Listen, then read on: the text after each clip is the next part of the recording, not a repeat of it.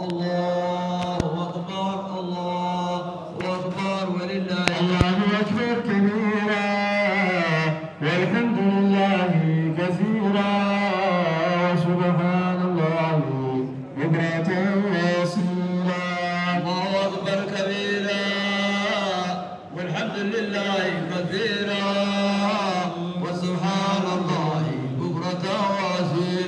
madaxweynaha jamhuuriyadda somalilan mudane muuse biixi cabdi ayaa oogista salaadu ciidul adxada la tukaday shacbiga jamhuuriyadda somalilan ee ku dhaqan caasimadda hargeysa ee waajibaadka tukashada salaadan ku gudanaya masujaamaca weyn ee magaalada hargeysa.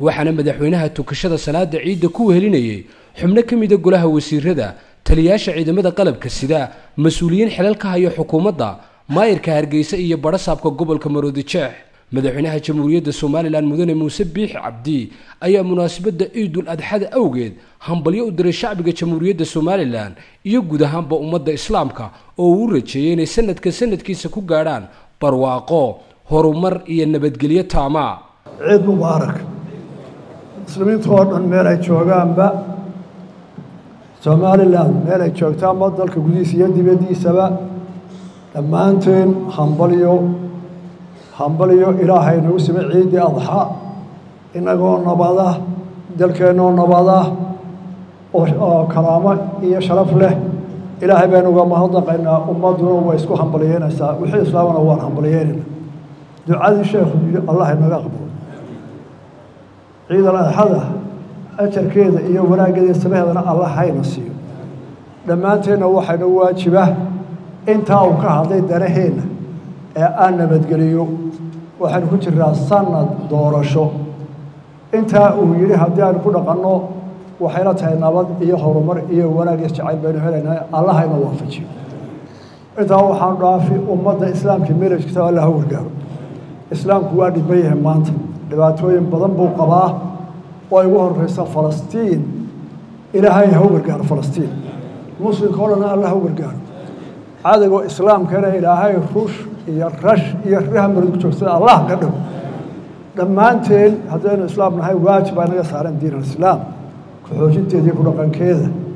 Ilaahay rabbigadoo wanaagga islaamka iyo xooggiisa sharaftiisii uu lahaan jiray ku soo celi. Meelu joogaba ummadda soomaaliyeed islaamkay ka mid tahay dhibaatooyinkay la wadaagtaa meel joogtaba iyo inaguba.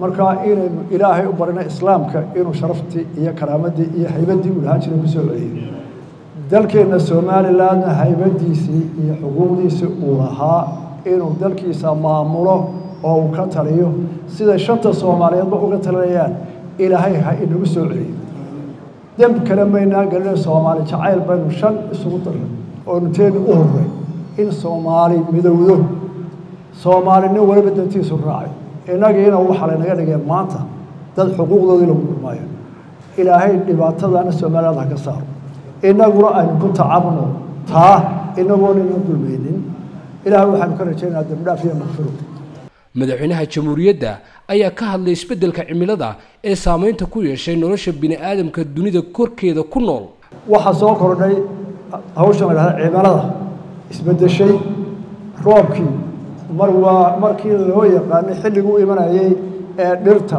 iyo xayawaanka iyo dadku u barteen ama wuu ka daahayaa dib uga dhacaya ama wuu soo hormaraya. Hadduu yimaadana wuxuu la imanayaa daadad iyo duufaano xoog leh oo dhibaateeda leh. Ilaahay waxaynu ka rajaynaynaa cimiladaa isbeddeshayna ilaahay khayrkeeda inuuna siiyo.